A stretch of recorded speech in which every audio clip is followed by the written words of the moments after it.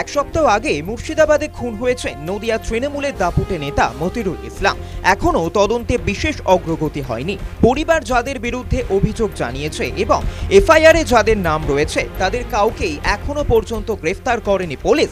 এমনকি তাদের কাউকে জিজ্ঞাসাবাদও করা হয়নি বলে অভিযোগ জানিয়েছে পরিবার।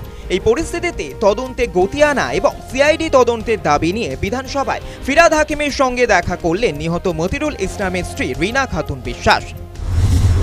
আমাদের আশ্বস্ত করেছেন, সে পূর্ণভাবে আমাদেরকে সহযোগিতা করবেন এবং খুনের তদন্তও নেবেন। এর দিদির কাছে আলোচনা করবেন, এটাই বলল আমাদেরকে।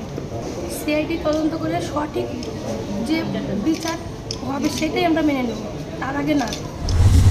খুনের পর থেকেই অভিযোগ উঠেছে, গোষ্ঠী কোন্দলের ফলেই খুন হয়েছেন মতিরুল। স্থানীয় বিধায়ক তাপস বিশ্বাস প্রকাশ্যেই নদিয়ায় জেলা পরিষদের তৃণমূল সদস্যের বিরুদ্ধে অভিযোগ জানিয়েছিলেন।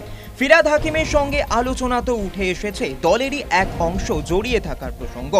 কৃষ্ণনগরের সাংসদ মহুয়া মৈত্র দাবি জানিয়েছিলেন, পারিবারিক কারণেই খুন হয়েছেন মতিরুল। সূত্রের খবর, মহুয়ার ভূমিকায় ক্ষুব্ধ মতিরুলের পরিবার সেই ক্ষোভের কথা তারা জানিয়েছেন ফিরাদকে। পরিবার ভরসা রাখছে উচ্চ নেতৃত্বের ওপরে কিন্তু বিরোধীরা অভিযোগ করছেন, পঞ্চায়েত ভোটের আগে দলের কারুর বিরুদ্ধে ব্যবস্থা নেওয়ার ঝুঁকি নেবে না দল ও প্রশাসন। প্রশ্ন উঠছে, সত্যিই কি সুবিচার পাবে নিহত তৃণমূল সদস্যের পরিবার?